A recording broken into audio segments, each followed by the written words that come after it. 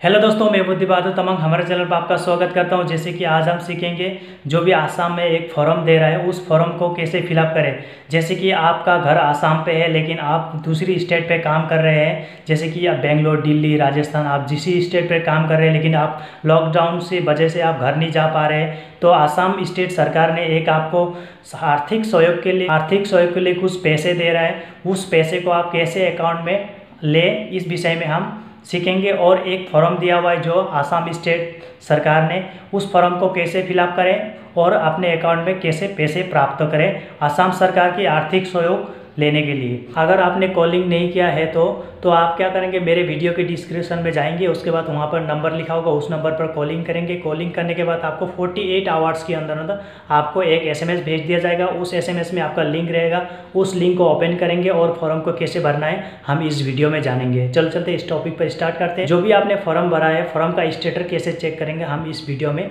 जानेंगे। लेकिन आपको इस वीडियो को पूरा स्टेप टू स्टेप लास्ट तक देखना है, तभी जाके आपको इस फॉर्म को कैसे भरना है, आप जान पाएँगे। नहीं तो आप का अकाउंट पर पैसे नहीं आएँगे, कोई मिस मास कर देंगे तो। हमारे चैनल पर नए आए तो सब्सक्राइब कर दीजिएगा बेल आइकन को ऑल नोटिफिकेशन दबा दीजिएगा, ताकि हर वीडियो हम डालें, आप सबसे पहले देख पाए। चलो चलते स्टार्ट कर देखिए, सबसे पहले आपको ऐसा एसएमएस की एक संदेश भेज दिया जाता है। एसएमएस द्वारा एक संदेश भेज दिया जाता है।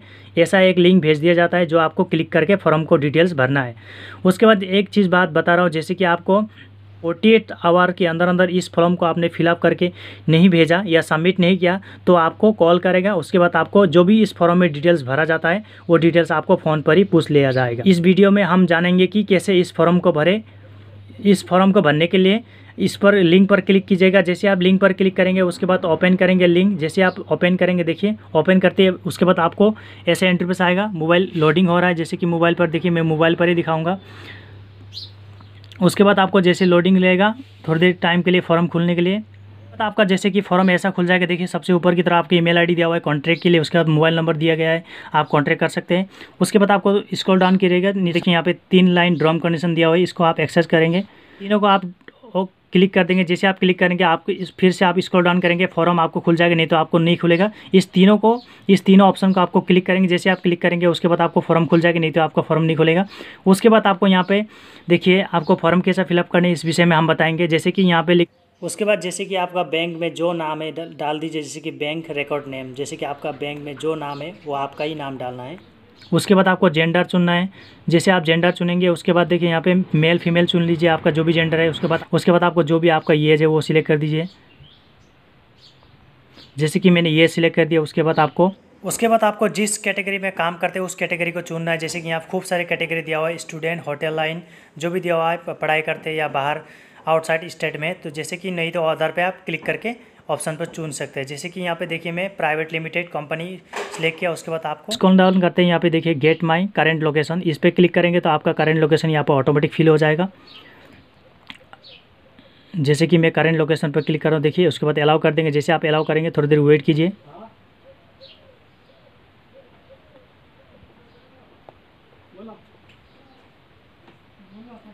उसके बाद देखिए आपका पिन कोड ऑटोमेटिक भर जाएगा, उसके बाद आपको जो भी जहाँ पे स्टेड है वो भर जाएगा, उसके बाद देखिए यहाँ पे एड्रेस आ जाएगा, उसके बाद आपका ये जो एड्रेस आ जाएगा ऑटोमेटिक भर जाएगा। अगर एड्रेस में गलती है तो यहाँ पे क्लिक करके आप एड्रेस सही कर सकते हैं, देखिए।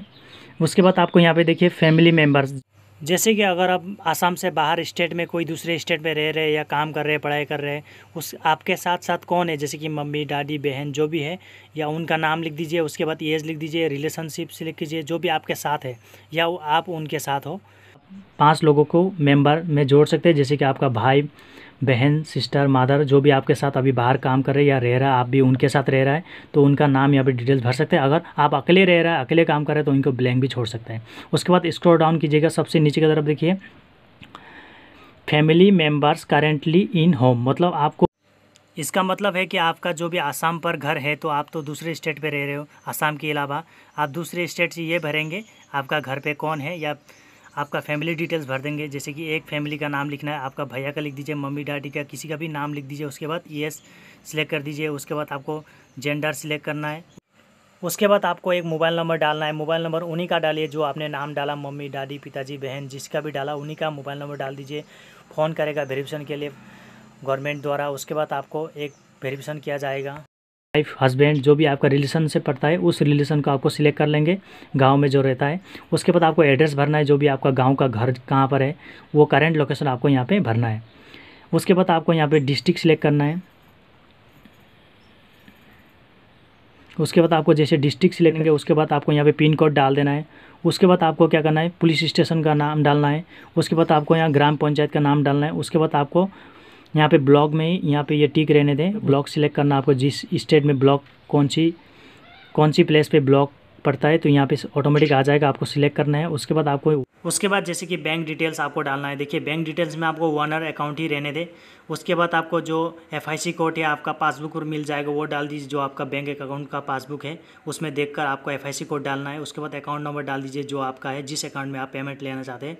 उसके बाद दोबारा कॉम्प्रम अकाउंट पर वही अकाउंट नंबर दोबारा डालेंगे, उसके बाद आपको यहाँ पे देखिए, इस ब्लैंक बॉक्स को खाली छोड़ सकते हैं, आप कुछ भी लिख सकते हैं, नहीं तो खाली भी छोड़ सकते हैं। उसके बाद आपको इस ड्रॉम कंडीशन को दोनों को टिक करना है। उसके बाद जैसे इस ड्रॉम कंडीशन को दोनों को टिक करेंगे टिक करने के बाद आपको सबसे पहले आपको पूरा फॉर्म को अच्छी तरह एक बार देखना है, कैसे आपने फिलअप किया, सही है कि नहीं। उसके बाद आपको सबसे नीचे देखिए सबमिट रिक्वेस्ट पर क्लिक करना है। जैसे आप सबमिट रिक्वेस्ट पर क्लिक करेंगे जैसे आप सबमिट रिक्वेस्ट पर क्लिक करेंगे सबमिट रिक्वेस्ट पर क्लिक करते हैं, आपके पास जो भी आपने भरा है डिटेल्स वो आसाम गवर्नमेंट के पास चला जाएगा। उसके बाद आपको वेरिफिकेशन की कॉल आएगा एक। उसके बाद जो भी आपने नंबर दिया था घर में, जो गाँव का नंबर या आसाम का जो भी नंबर दिया था, उस नंबर पे कॉलिंग करेगा, यानी नहीं तो आपका नंबर पे कॉलिंग करेगा। उसके बाद आपका वेरिएशन प्रक्रिया कंप्लीट होगा, उसके बाद आपका बैंक अकाउंट में पेमेंट आ जाएगा। उसके बाद आपको सबमिट करने के बाद फोर्टी एट आवर्स के बाद अगर आपको कॉलिंग कर देगा कॉलिंग करने के बाद आपको अगर स्टेटर चेक करना है, जैसे कि आपको स्टेटर उसके बाद आपको स्टेटस चेक करना है तो स्टेटस चेक करने के लिए जैसे कि आपका मोबाइल पर एसएमएस था आया हुआ उस एसएमएस को कभी मत डिलीट कीजिएगा। उसके बाद आपको क्या करना है, इसी लिंक पर वापस क्लिक करें जैसे आप इसी लिंक पर वापस क्लिक करेंगे, जो भी आपने फॉर्म सबमिट कर दिया, सबमिट करने के बाद स्टेटस चेक करने के लिए इसी लिंक पर वापस क्लिक कीजिएगा। उसके बाद जैसे आप लिंक पर क्लिक कीजिएगा, उसके बाद फिर से आपको ब्राउज़र ओपन करना है। जैसे आप ओपन करेंगे, उसके बाद थोड़ी देर लोडिंग लेगा आप। उसके बाद देखिए, मेरे पास कॉलिंग आ चुका था, मेरा वेरीफाई हो चुका है। देखिए, यहाँ पे बता रहा है कि आपका वेरीफाई हो चुका है पेमेंट प्रोसेसिंग में है। आपका भी वेरीफाई होने के बाद ऐसे स्टेटर दिखाया जाएगा, उसके बाद पेमेंट आने के बाद आपको पेमेंट सक्सेसफुल सक्सेसफुल दिखाया जाएगा। देखिए, मेरा अभी प्रोसेसिंग चल रहा है। जैसे आपका बैंक अकाउंट में पेमेंट आ जाएगा पेमेंट आने के बाद देखिए, जैसे आपका बैंक अकाउंट में पेमेंट आ जाएगा पेमेंट को आपको दोबारा चेक करने के लिए, जैसे कि आपका एसएमएस रहेगा, उसी एसएमएस पर दोबारा क्लिक करेंगे। जैसे आप क्लिक करेंगे, उसके बाद आपको फिर से ऐसा इंटरफेस आएगा, इस पर आपको पेमेंट सक्सेसफुल दिखाया जाएगा। थैंक यू वेरी मच दोस्तों। वीडियो देखने के लिए बहुत बहुत धन्यवाद। मिलते हैं अगली वीडियो पर।